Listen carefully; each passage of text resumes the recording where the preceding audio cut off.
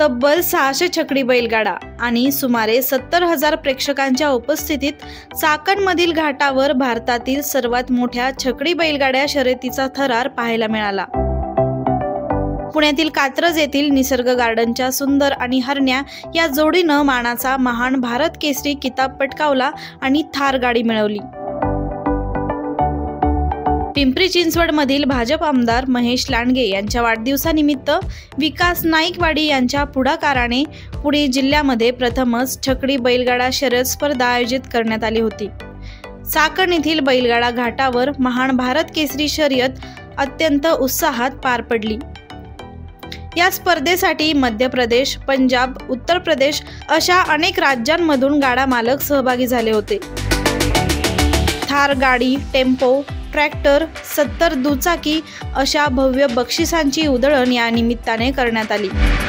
एकूण सहाशे छकडी आणि सुमारे सत्तर हजार बैलगाडा प्रेमींनी या स्पर्धेचा प्रत्यक्ष घाटात आनंद घेतला.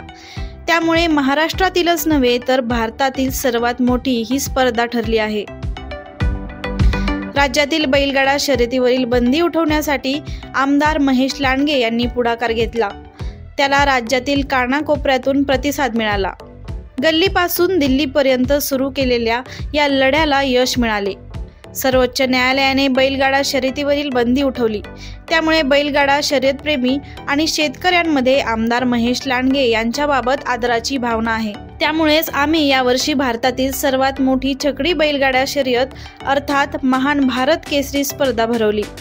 त्याला अपेक्षेप्रमाणे मोठा प्रतिसाद देखील मिळाला आहे अशी भावना विकास नाईकवाडी यांनी व्यक्त केली.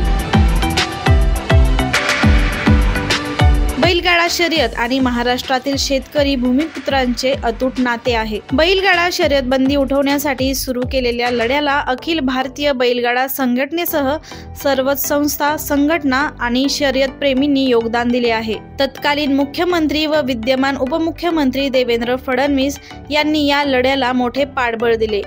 हा शेतकऱ्यांचा थरारक खेळ टिकला पाहिजे अशा स्पर्धांमुळे ग्रामीण अर्थचक्र सक्षम होत असल्यामुळे केलेल्या प्रयत्नांचे चीज झाल्याचे समाधान वाटते असे म्हणत आमदार महेश लांडगे यांनी स्पर्धा आयोजकांचे आभार व्यक्त केले.